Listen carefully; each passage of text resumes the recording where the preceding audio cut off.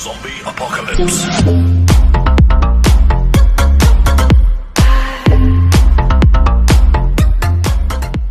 Hey yo, halo guys, apa kabar kalian semua? Kembali lagi bersama gue di channel Gaming Babs. Kita nge-game sambil santai-santai. Dan di video kali ini Akhirnya server Black Clover Mobile yang global sudah resmi buka. Cuy, ini sebenarnya gue sedikit telat ya Cuman nggak apa-apa. Ini adalah akun pertama gue cuy. Gue belum reroll. Ini ini enter aja nih ketuk untuk mulai aja. Belum gue ketuk-ketuk dari tadi ya. Ini bener-bener masih fresh. Gue belum tahu dalamnya kayak gimana dan gue juga penasaran nih, kira-kira SSR pertama gua itu apa cuy? Wah, apakah kita perlu reroll? Nanti ke depannya gue juga bakal bikin konten seputar eh, tips ya reroll buat karakter-karakter apa aja yang worth it untuk diambil ya di game ini ya karena eh, gue udah pelajarin juga tuh seputar karakternya mana yang worth it, mana yang enggak, mana yang wajib di build, mana yang wajib eh, untuk di rerollkan.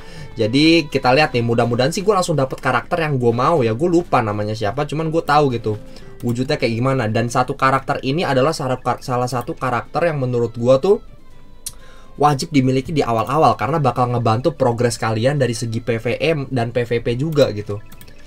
Jadi ya, gue udah belajar tipis-tipis lah ya. Uh, mudah-mudahan sih gue langsung dapat SSR di sini. Berhentilah Asta, kau tak mungkin menang melawannya. Widih, mantap ngeri juga. Insta kill katanya. Anjay. elemennya gak ada ya dia guys ya dan gue denger denger katanya MC-nya nggak bisa pakai sihir coy padahal gue belum nonton gue kena spoiler duluan nih aduh ya udahlah ya bapak nih gue nonton dari gamenya aja lah ya walaupun anime belum nonton nih gue belum start maraton guys nanti gue bakal start maraton ini demi game Black Clover ini cuy Widih, anak bocil aja udah bisa ngeluarin api guys. Sihir adalah segalanya, wajay. Cuman kau satu-satunya orang yang kudengar tak bisa pakai sihir sama sekali. Wah bener ya. Jadi beneran dia nggak bisa pakai sihir cuy. MC-nya ya luar biasa. Mage tingkat pemula. Biar aku aja yang potong kayunya. Widih, apa itu? Rasengan, gila. Buset, keren banget ini animasinya ini. Serius nih mereka seumuran. Ih gila, ini bakal seru sih. Ini bakal seru sih. Ini bakal seru sih asli. SSR apa nih? Ayo dong, gue pengen lihat SSR ini kita skip aja kali ya. Tapi gue penasaran ceritanya. Kita lihat dulu lah ya guys ya. Karena gue nggak pernah nonton anime, gue pengen ngeliat dulu ini animasinya ini. Oh, mungkin dia berimpian seperti siapa tuh penyihir yang membunuh raksasa besar ini ya. Gue nggak tahu namanya siapa. Waktu berlalu dan tibalah hari yang telah dinanti-nanti. Pinggiran desa HG dunia 1. Mantap sekali. Let's go. Episode 2 mulai quest. Eh, ini gue belum gue binding pakai WASD gue ya karena gue main di komputer. Gue udah download di handphone sih, jadi gue bisa main di handphone juga ya. Iya. Ini bisa dijawab kah? Iya. Penduduk kan desa penduduk desa HG. Pokoknya kita kita sampai dapat SSR ya. Kita bikin video ini kita sampai dapat SSR. Gue penasaran banget nih. Kalian pasti penasaran kan SSR akun utama gue ini seperti apa ini? Apakah kita perlu reroll apa tidak? Jujur gue juga rerollnya pengen tahu ya apakah lama apa enggaknya nih.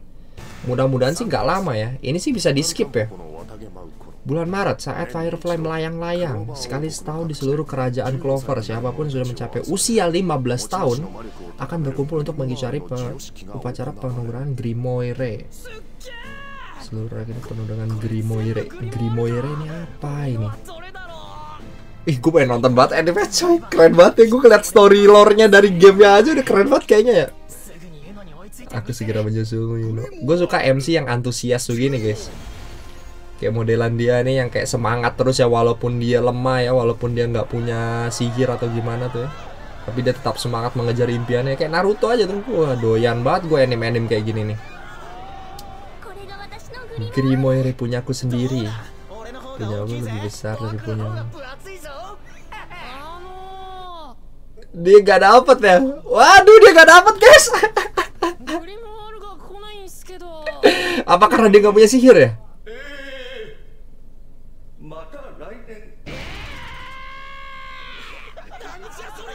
Wah sedih banget coy. Ya dia nggak dapat kah? Wih Atau apa nih? Grimoire nya yang GG kah? Yang legend kah? Atau apa kah ini? Oh bukan kirain. Kirain punya si ini, ternyata punya dia. Clover daun keempat. Waduh, daun empat. Kenapa daun empat? Gue gak ngerti daun empat, cah, Seperti legenda. Wah, gila.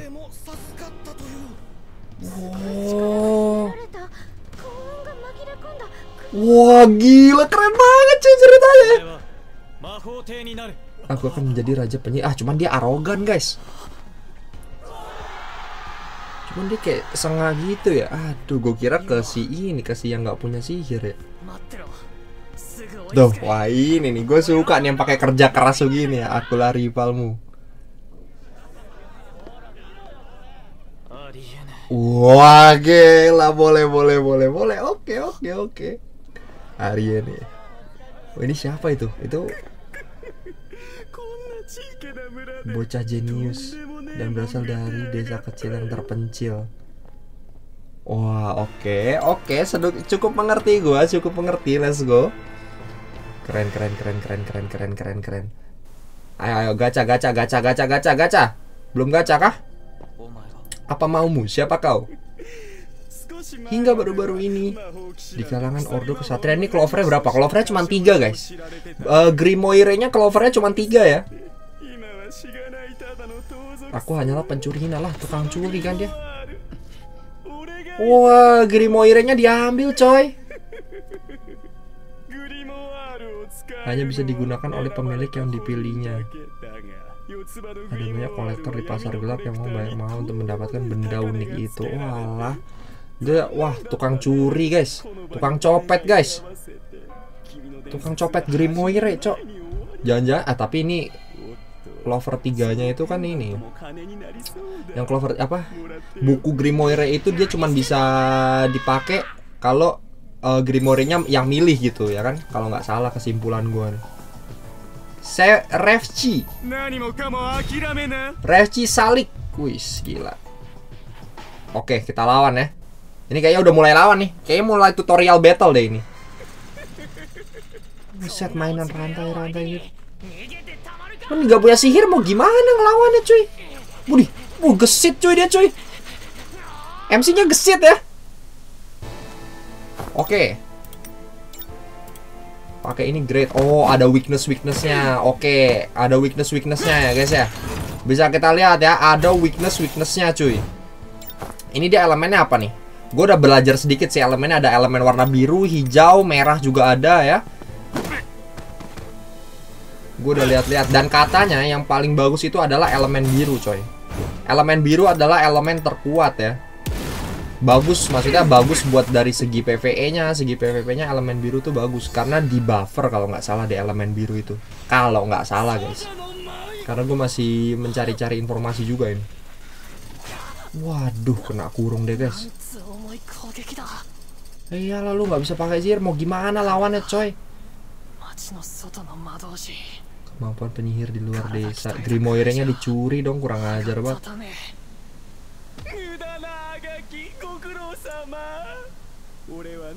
Keistimewaan rantai ini adalah bisa mengukur kekuatan sihir siapa pun yang tersentuh olehnya. Dan kau tak punya kekuatan sihir sama sekali. Gila didiskriminasi banget ya.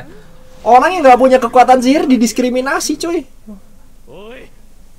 おい誰が負け犬だそいつは負け犬じゃね Wih, え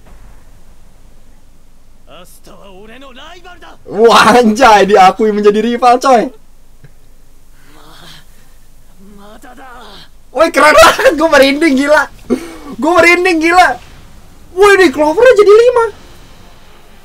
Jangan bilang punya Asta.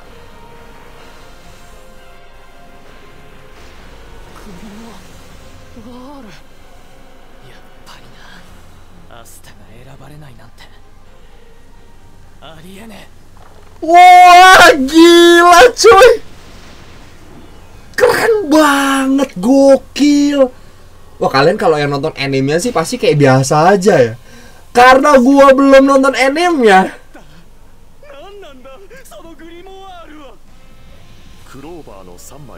Di ketiga helai pertama daun semuanya adalah integritas, harapan, dan kasih. Oke, itu tiga ya. Integritas, harapan, dan kasih. Kalau empat apa empat? Di helai keempatnya adalah keberuntungan. Ah, helai kelima apa? Helai kelima?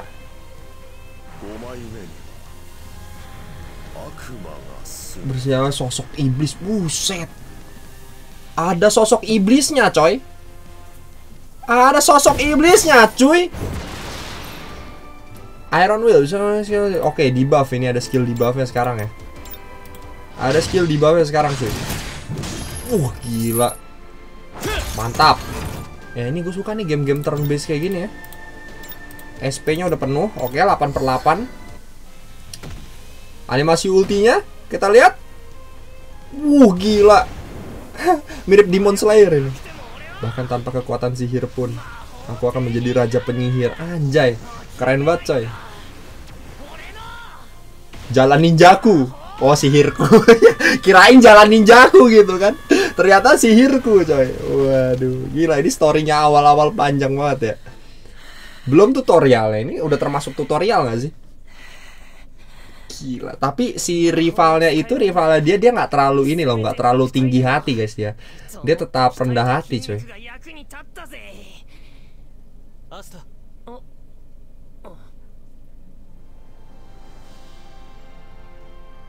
Tapi sayangnya orang-orang pada nggak ngeliat kalau dia lima dia punya lima clover grimoire.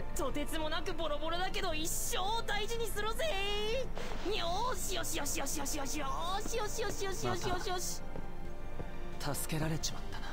Lagi-lagi kau menyelamatkan hidupku. Akan kubayar utangku aja ini keren sih. Ini keren sih. Ini mirip Danheng kalau kalian yang main Honkai Star Rail ya. Ini mirip Danheng dan nanti gue juga ada bakal bikin video juga sih. Uh, kalian jangan sampai melakukan kesalahan-kesalahan tertentu gitu ya. Ada beberapa hal yang pengen gue remind di game ini, cuman nanti aja lah. Gue masih harus mempelajarinya lagi Sekalian gua naikin jam terbang gua di game ini ya. Jadi gue bisa mengedukasi dengan baik dan benar gitu. Soalnya gue baru belajarnya tipis-tipis ya seputar game ini. Jadi biar nggak salah langkah. Gacha awal udah pasti dapat SSR nggak sih? Dapat SSR awal-awal pasti nggak sih? Gereja Desa HG. Oke, ini bakal gua jalanin dulu aja kali ya karena kalau misalkan gua akhirnya tidak pamitan konfirmasi. Ini mungkin bakal gue jalanin aja eh, tutorialnya dulu. Mungkin ya nanti kalau misalkan udah bisa gacha baru kita lanjut lagi ya. Karena kalau misalkan gue masukin semuanya ke video bakal panjang banget guys. Jadi ditunggu bentar ya. Ini kita udah baru kebuka aja nih summonnya ya. Ternyata nggak lama dari itu langsung kebuka cuy summonnya. Eh, ini kayaknya masih summon awal masih summon gratisan. Gue pengen tahu nih tandanya kalau SSR apa kalau SR tuh apa? Ini kayaknya SSR sih ini kah? Ini saatnya kita reroll reroll kah? Di sini dapat summon gratis ini kah?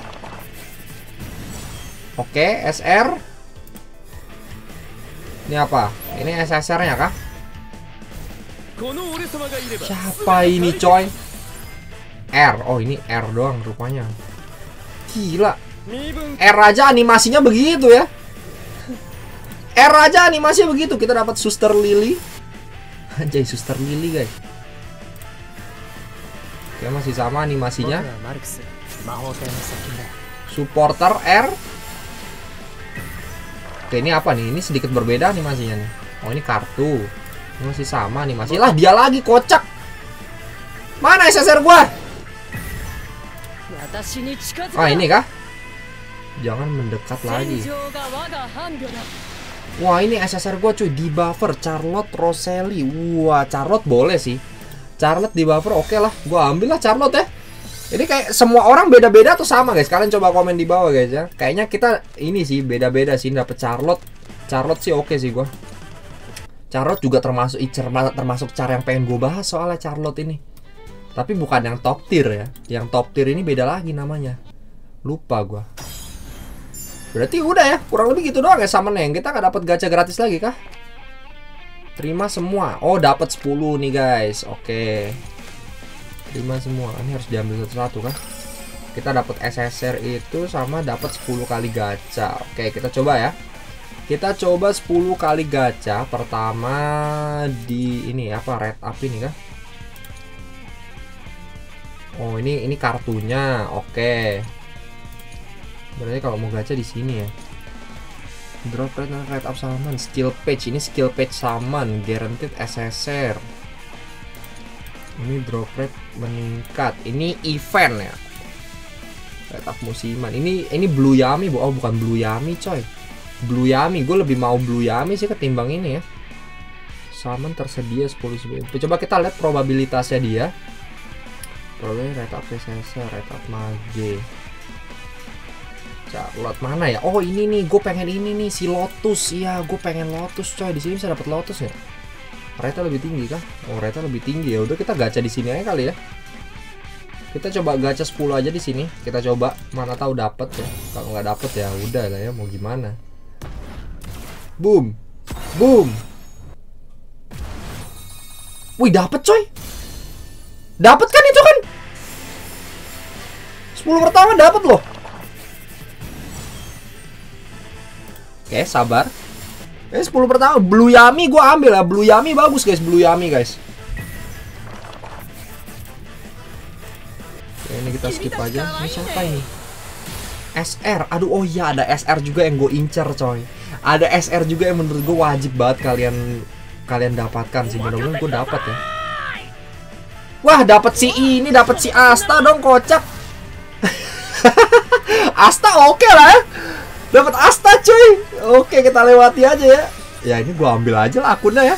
Nanti kita gua bakal reroll sekali gue lihat sehoki ini apa enggak ya.